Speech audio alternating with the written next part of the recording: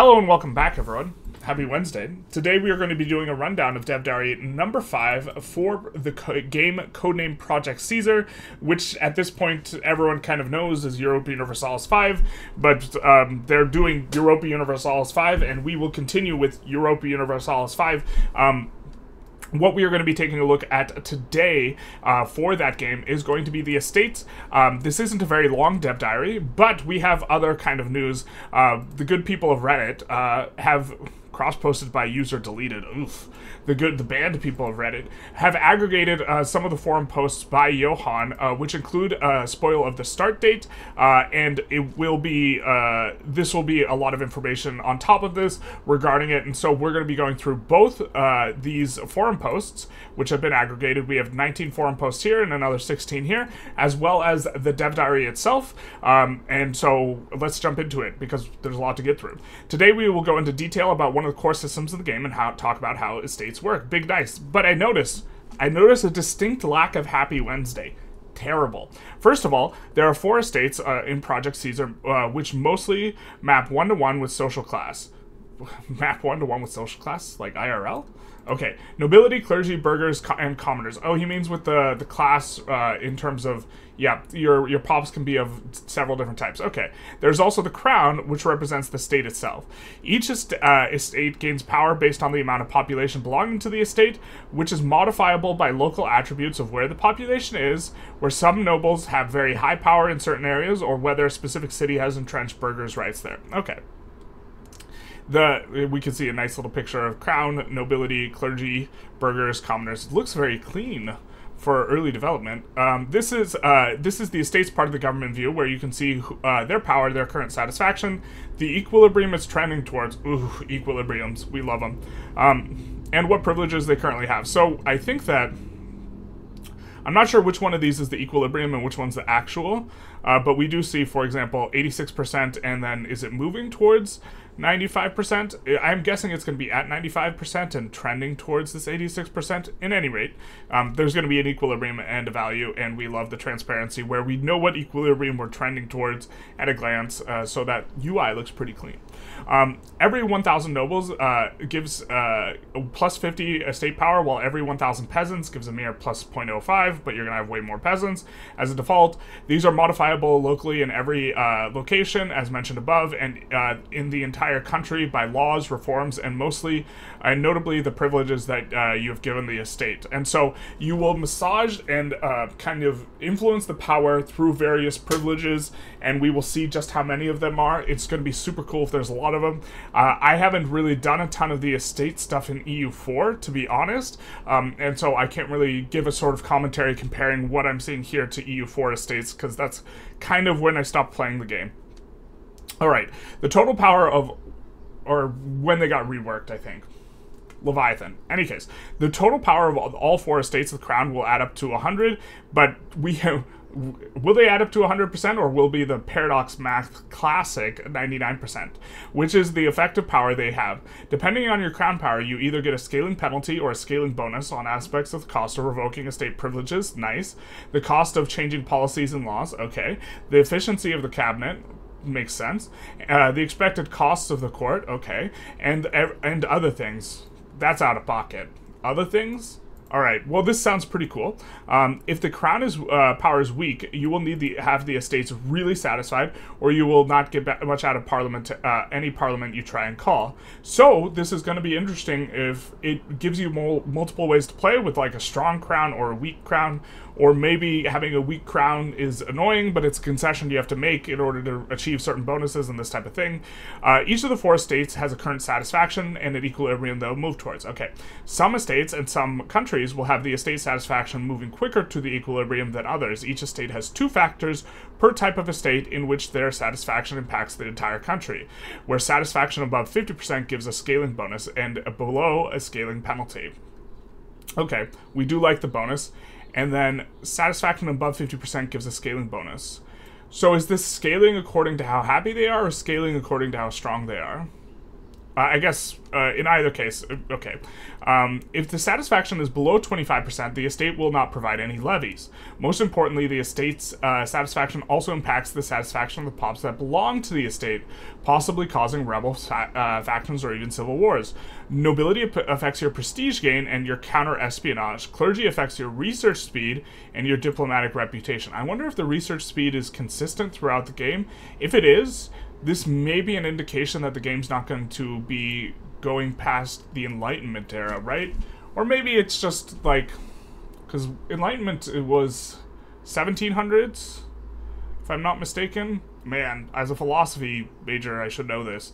Um, but the the if the clergy is the one that's constantly impacting research speed, then maybe this gives us a hint into what the end date is. We know now that this uh, the start date is going to be April first, thirteen thirty seven, um, which was confirmed by Johan in a forum post. We'll get uh, into more of these later, but um, so you've been a lot of speculation. We have figured out uh, the correct start date of April first, thirteen thirty seven. So um, that'll be interesting. Uh, impact your merchant power uh, and production efficiency from the burghers. commoners. Incre- impacts your food production and your stab costs. Okay, uh, so what are the impact of satisfaction equilibrium on a state? The privileges they get, the current stability, some reforms may impact them, some laws may, how you tax them, and much more. So there's going to be a lot of ways to do stuff, which means it's going to be fun, kind of, it, even if there's a meta way of doing stuff, it's going to be a lot of fun trying to figure out what the meta is when there are a lot of moving parts like this. Uh, some examples include clergy being happier with higher religious unity, or burghers liking uh, having more market centers in your country. Estate privileges, then.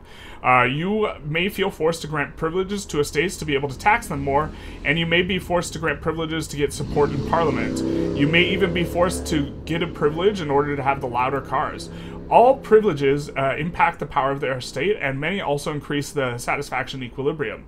They have some e impact on gameplay, fitting the privilege, and also often also have an impact on society value of the country. We see one here, an example with the free mobility for peasants, um, and then this is giving you know them being happier. Uh, it allows, uh, or sorry, this looks like 10% happiness for the someone and 20% Lightning Bolt for another people. Okay, monthly progress towards free subject plus 10 allows peasants to migrate. Yes, noble, noble estate equilibrium satisfaction is lower. I wonder who this is at 10% happy for the burgers? I don't know. Or not the burgers, but the peasants, rather. Okay. Uh, there are many different privileges and unique ones depending on what type and country you play. We mentioned taxes before, and while this is not a development diary where we will go into detail about economic system, no, it is important. Look at this, saying, hey, we're not going to go into this in this dev diary, like, like four inches from the bottom of the dev diary, like it's not obvious we're not going to go into it, but um, okay. It is important to mention that the estates of a country uh, have wealth that is increased by the amount of money that they have uh, that you have not taken from them in taxes. Ooh, interesting. Rich estates uh, will use their wealth on many things, uh, primarily to invest into the things that benefit them, but will also build things that benefit the country. Do we have an automated construction queue? Hell yeah, brother. Next week we will talk about a few concepts that are uh, new to the game that have not been present in previous games previous games he says like it's not a previous EU4 uh, Europa Universalises, as well as talk about proximity, control, maritime presence, and all concepts needed to talk about needed to be talked about in detail before we go into the economy system. Okay, big nice. So someone uh, has kindly uh, aggregated a bunch of forum posts by Johan and then kindly also deleted their account. Um, so uh, we are going to be taking a look at these, uh, going through it. I think that maybe we can zoom in, but in either case, we can do some of this.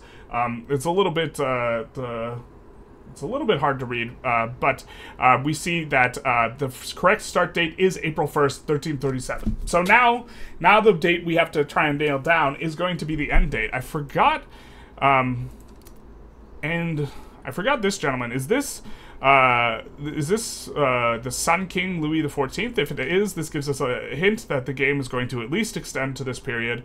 Um, but um, okay, uh, I, I people will come out of the woodwork regarding figuring out the end date. I think quite a bit better than me. So uh, we'll wait to hear from them. Uh, but why we have picked, picked this date of April 1337? it starts before the Black Death, which gives creates an early game challenge. France's system of feudal loyalty is tested as Edward III is about to be embarked on the Hundred Years' War.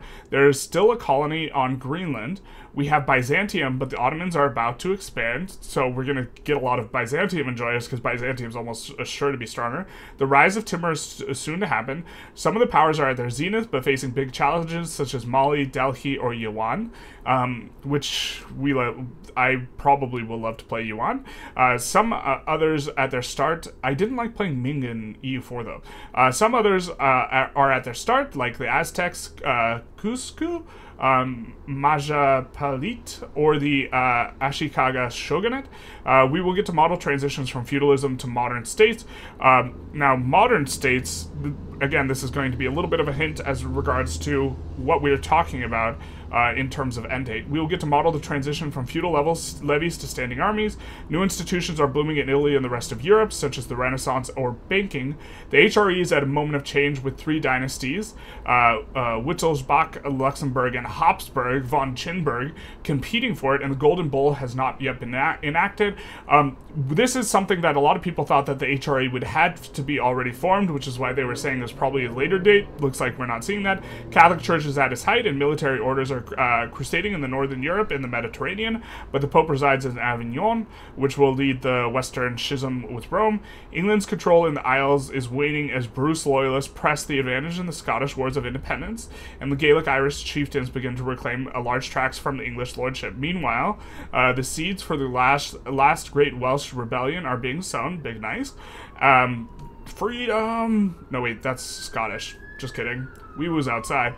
An intricate balance of power between in Iberia between the Christian kingdoms and the last Muslim footholds. I always liked playing Iberia as the as the Muslims because I thought it was an interesting thing.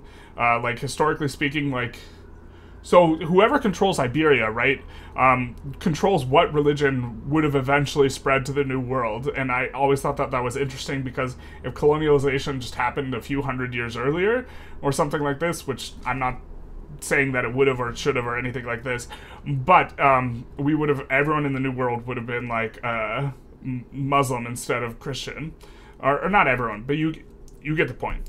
Um, a different balance of power in regions uh, such as Eastern Europe, the Middle East, uh, or Southeast Asia, uh, steppe hordes, and their successors of Eurasia from the Mediterranean to the Pacific. Okay, so we are going to be going through a lot more of these, and there are a lot. They're not all that long. I think that's probably the longest one. Some we will be able to read here, uh, but see, this is an, an, example of a very short one. Our research and marketing team has lots of details on what target audience are, and they can elaborate on this much further. Um, so uh, for me, though, the target audience is people that love historically immersive map games. Okay. Here we have. What causes game performances badly scaling design, where performance uh, scales badly with the growth of X or Y?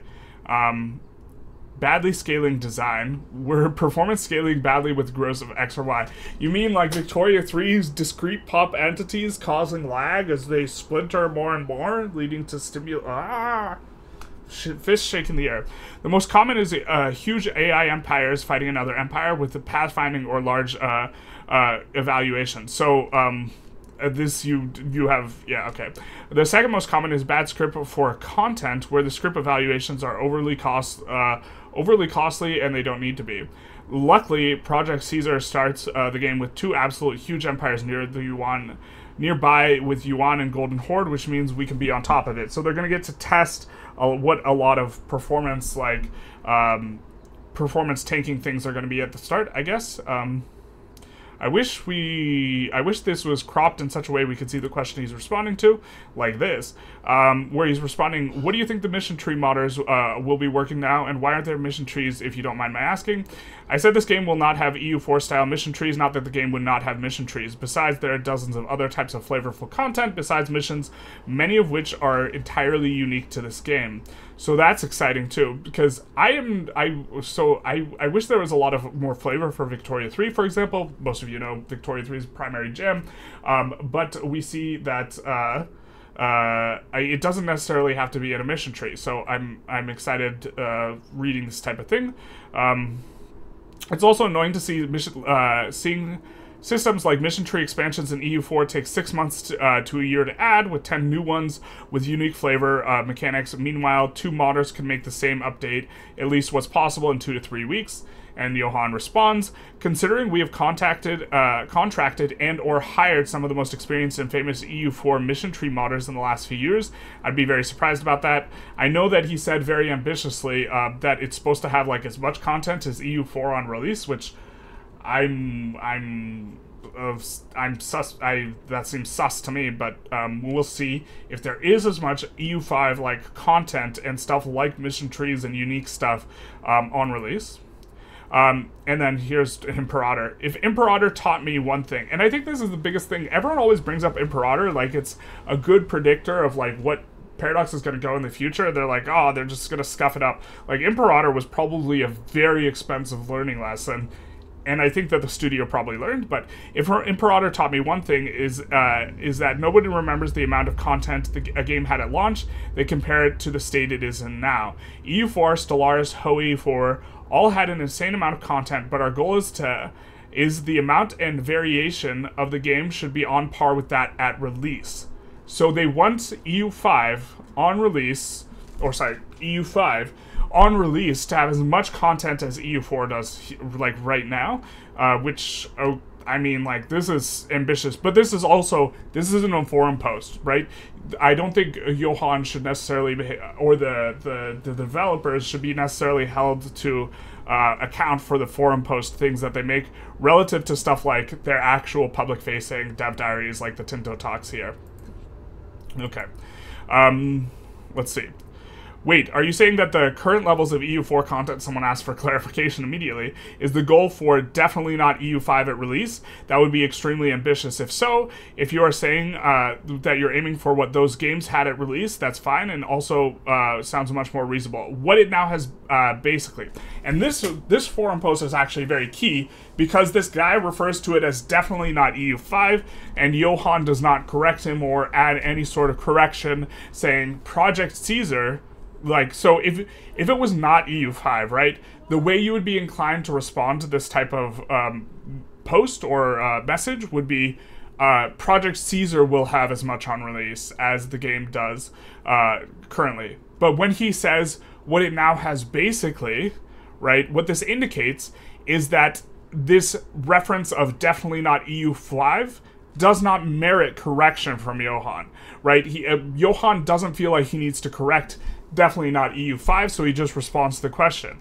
Again, if he was making a game that was called, you know, Knickknack Paddywhack uh, 1, uh, then he would say, Project Caesar will have this at release, right? Because he would be saying that this guy didn't refer to the thing um, correctly, and so, okay.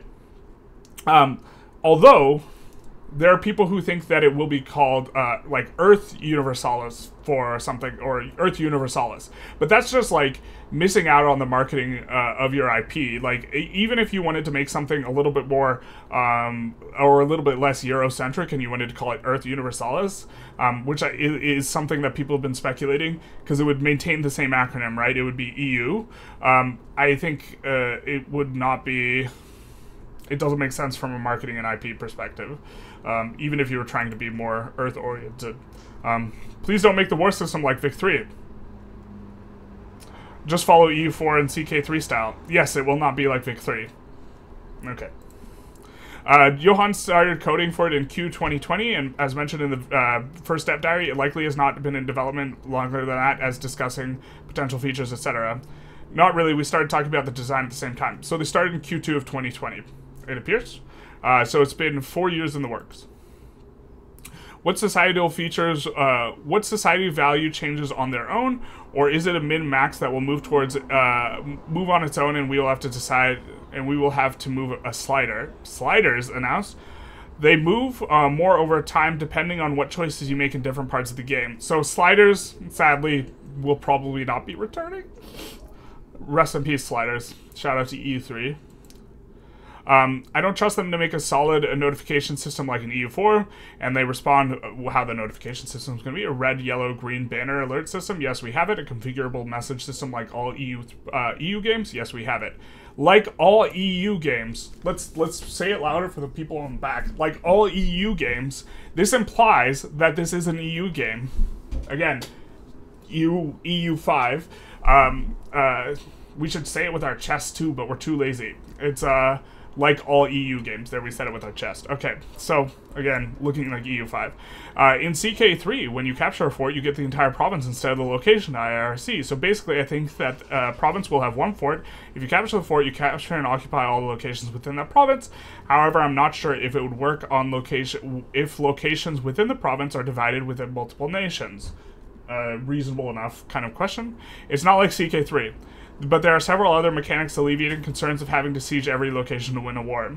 It's um, to be fair, playing uh, Imperator was it was super nice being able to put the the armies set them to carpet siege, just like give them the AI behavior to carpet siege, which was uh, very very refreshing. So I hope that they have the same automation. Will EU4 type mission trees make an appearance, uh, re- reappearance in Project Caesar? Definitely not EU5. Um, see, here he refers to as Project Caesar, so there's no need to clarify. No, there will likely be uh, another type and style of mission trees. Okay, mission trees, but different style. He said that elsewhere as well. Uh, the term core province lost all its meaning in EU4 as you could just turn any province into a core uh, in a few years by spending a bit of mana. Will Project Caesar have a more similar have a more similar I'm not sure I like more similar, but also should we be ripping on uh, Sperenk for his his copy? Probably not. Uh, more similar uh, conception of core provinces as in EU3. Neither like those, but something different. Okay, fair. Uh, in the case of a con- uh, constitutional monarchy, will there be one leader at the helm, or would there be a separation of monarch and prime minister uh, be reflected with the use of the cabinet feature? Could constitutional monarchies in different countries empower more uh, the prime minister than the monarch and vice versa? Nothing I can talk about in details yet, which, I mean, doesn't imply too terribly much other than um, there is some sort of mechanic. Um, okay, this one, this one we might want to open up a new one. I'd like to say on behalf of uh, everyone, when including the call to Parliament mechanic, assuming it's meant to be inspired by the English Parliament, which had been called two times a year, include a mechanic uh, which auto calls the Parliament, perhaps even allows us to set a tiny uh, time interval, like allowing us to call Parliament every X months, where X would be defined by a slider. Okay, sliders, we're trying to bring them back.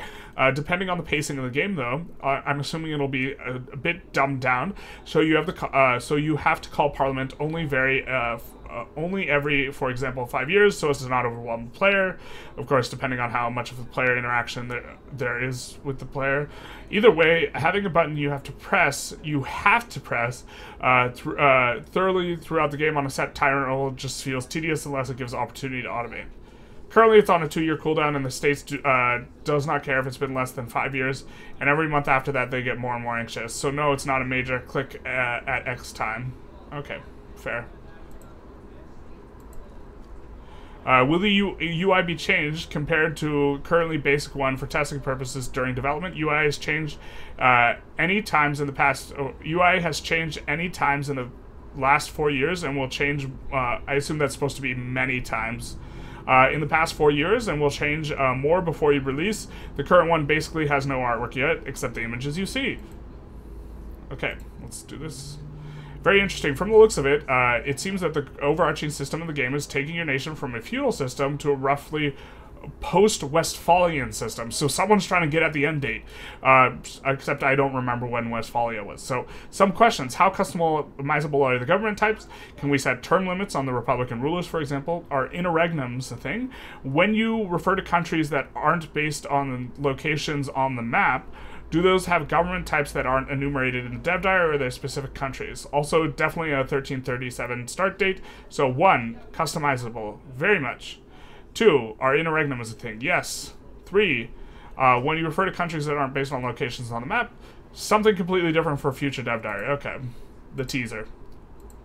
And finally, armies be only being able to reinforce in friendly owned territories is something I really like.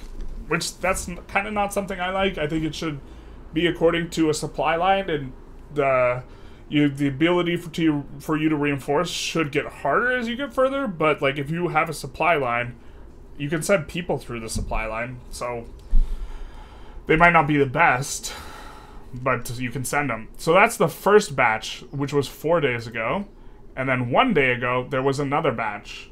The for another batch was made. For they were all of them deceived. Another batch was made, deep in the fires of the the forums. Uh, since you're looking for community input, I dislike the design choice uh, popular in recent times, where you would take something from outs- uh, from where which takes you outside of the map slash game at a click. CK3 doing that a lot. Man, I think CK3 is like different because it's RP. Uh, and prefer the way it was done uh, with the first EU4 and CK2, where all the menus uh, are at the top of the game. Uh, I would like it. This this is like a really long thing. Uh, if I recall correctly, because we've read through this before, uh, he just wants like the map to be kind of present. he wants to avoid royal court style mechanics, um, this type of thing, um, etc. And Johan responds kind of succinctly. All our menus are just in sidebars, except the ledger and some re unit reorganization windows, just like EU4. Ironically, we used uh, we used to use much more full screen in older games like Hoi 2, Hoi 3, and Vic 2, which I think he says that he liked. Um, but okay, so we're we have an idea that we're going to be map focused, and then there's going to be sidebars for information. Okay. Um, games get boring. Hopefully that's readable. Yep. Games get boring when things become too repetitive uh, and or challenging is lost. Um, this is one of the main focuses we have right now uh, with this game to make sure that there's good pacing and in the challenge or in the challenge. So not too easy, not too hard. Okay. Rivers are an on off uh, per map mode. Hot. So we can turn on or off the rivers uh, for each map. Cool. This um, it will depend on the war. If you are England controlling the sea and you only use a small... Ah, you make my head smaller. Sorry, apologies. Let's do this. if you are England controlling the sea and you only use a small merchant army, fighting in others' territories is not going to impact you that much. If you're fighting in your own territory, use you levies for too long, squandering your armies on assaulting forts and ignoring logistics and weather, your army may be a long-term loss for your country. Interesting. Okay. I'm guessing we're going to have to kind of click on each one of these on the same one. I remember someone, Alderon, putting together a spreadsheet, spread them, of the population data for MEIOU and taxes and saying that they had decent numbers for 1500. Wonder what became of that. Alderon became an employee of Paradox Tinto since early autumn of 2020, spending much of his time working on maps and population setup for Caesar, together with other parts of the content design team. Okay. Shout out to Alderon looking for love in all Duran places. All right. Uh, in EU4, the model of uh, conquest is you fight total wars. This is something we do not want to see in Project, Project Caesar. Thank you. I like feeling, I like being able to chill without feeling like I'm making a mistake, which is definitely the case in Victoria 3. I feel like if you chill, you're just making a mistake. If you're not using your Infamy Decay, you're losing it. Really hoping that gets changed uh, with uh, Spheres of Influence, or Sphere of Influence. Apparently there's no S, someone told me this, but it's just so hard to say it, you know, singular. Uh, anyway, for some, for some of us to playtest, eyes emoji, eventually. I wish Johan did eventually eyes emoji. But alas, poor York. We knew him well, Horatio. Uh, as with any game, a meta will develop and Europeans will be colonizing Mexican gold by 1360s lol. Hee hee, not gonna happen. Okay, so colonization's gonna have some difficulties with it. Uh, that's what we could get there. Oh no, the lag. Wait, why is my internet lagging? Okay, just kidding. Um, considering something about one test, a one percent of customers play a start date other than the earliest, it's very unlikely there will be another starting date for projects either. This has been said kind of in multiple spots by Paradox, but they no more different starting dates. I've said this repeatedly in the past. Basically, no game released in the last 10 years has had more than one or two starting dates.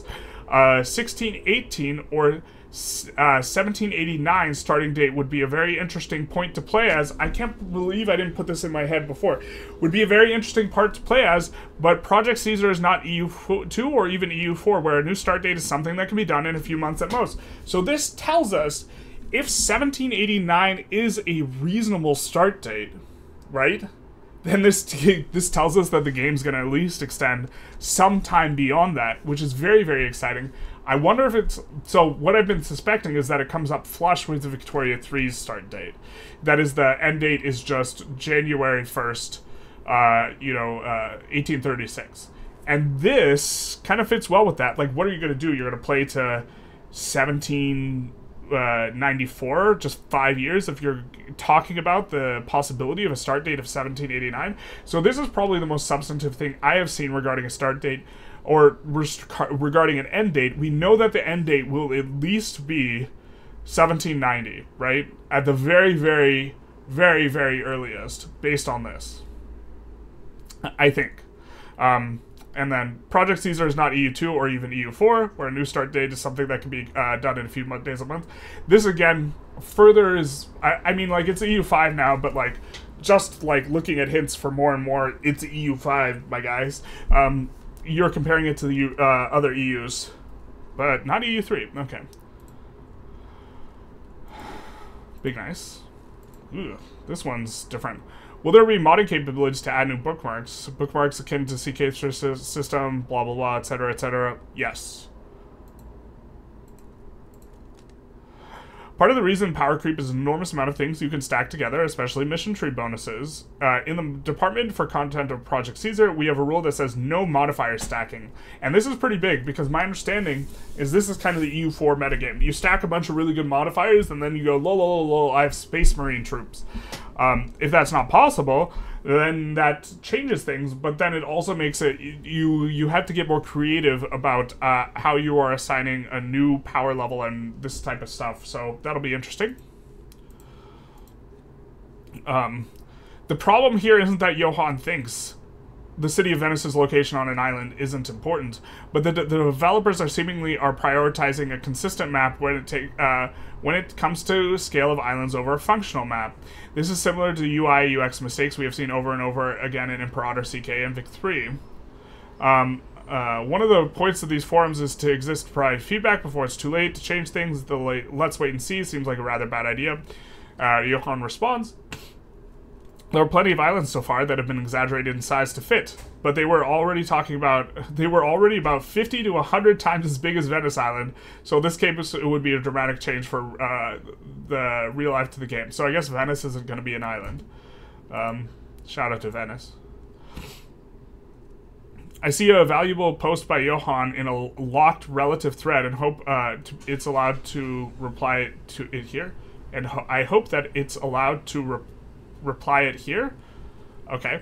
Uh, I think the main reason for this result is the lack of playability in EU4's later history, included uh, the updated chaotic historical setting, the bloated workload due to DLC stacking, the mission trees that mainly focus on a single narrative point. It's clear that the dates other than 1444 are largely ignored in the later uh, late history of EU4. And Johan responds, It was the case long before we made lots of DLC. We even spent a lot of time updating uh, 1618 for Art of War, and that did not change people's behavior regarding only playing one kind of the, the first start date and not always going super deep into the game. Um, it wasn't the 18th century that was bad.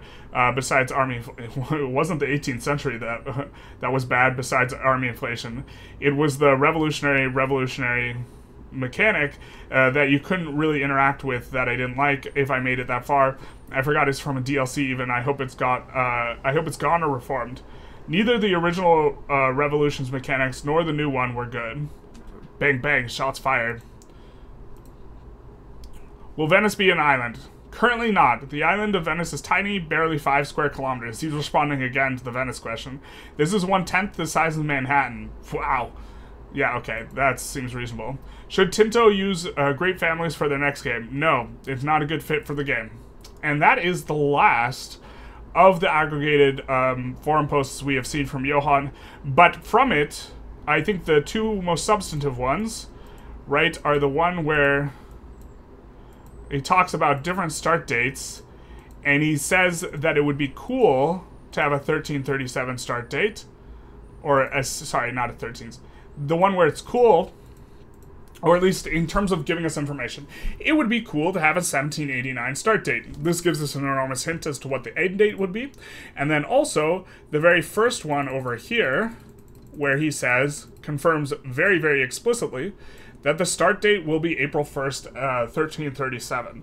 Uh, so this is pretty interesting. If you guys found any of the forum posts and this type of stuff interesting, or perhaps implying information um, that uh, is not readily explicit, please put it in the comments because we're we're trying to figure some stuff out. We're trying to figure out as much stuff as we can about uh, you know Project Caesar as it would. Big nice on the map. We know the start date. We know that the end date has to be after this. Um, and so, uh, and then we also learned a little bit, a little bit about estates. But overall, the estate stuff was not as exciting, I think, as the forum posts. So if you like this, please feel free to like, comment, subscribe. You know, do the YouTube algorithm thing, and have a good day.